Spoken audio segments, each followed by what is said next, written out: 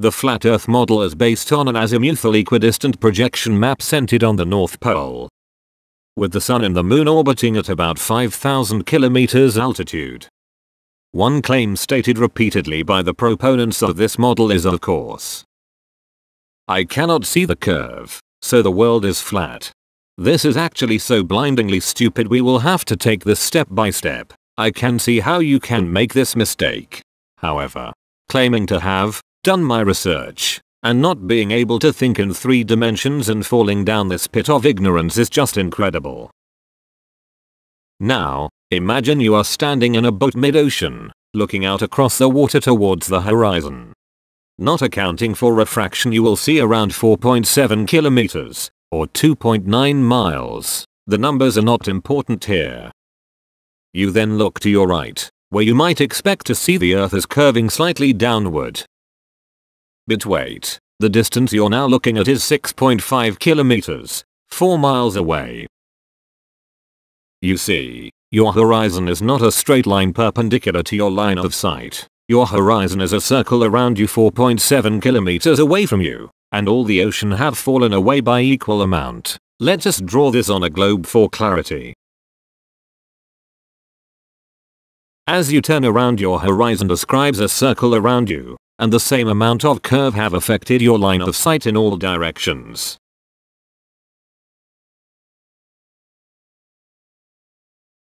As our viewpoint gets lower, we can see that the line is straightening, because all along your horizon the ocean is at the exact same level.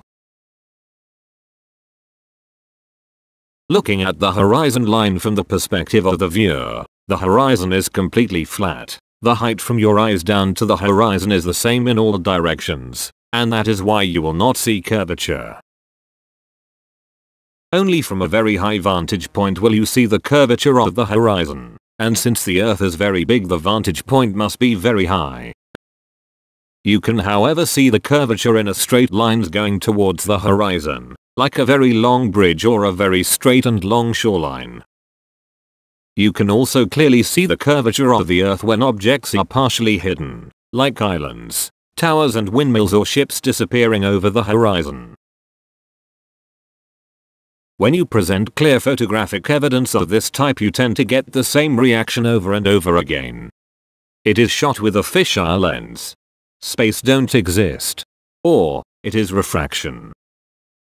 However back here in the real world of thinking rational people, we have this image of the curvature taken from the Galileo spacecraft in 1992.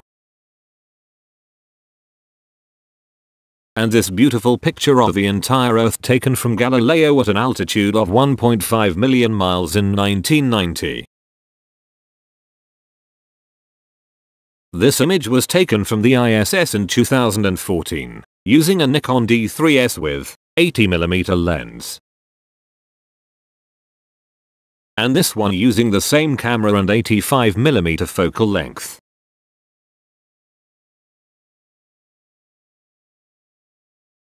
So, back to Earth.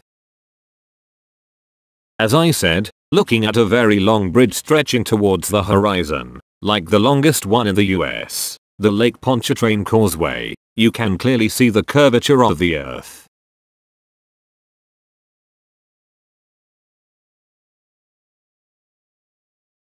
Can you see the curvature in this image of the Suez Canal? Or in this image?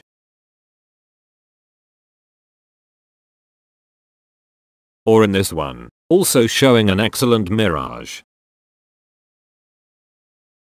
Or in this one where we happen to have the actual distances to the ships. Curvature is impossible to see from left to right, except from a high vantage point. We can see curvature in lines going towards the horizon. Or when viewing objects partially hidden by curvature.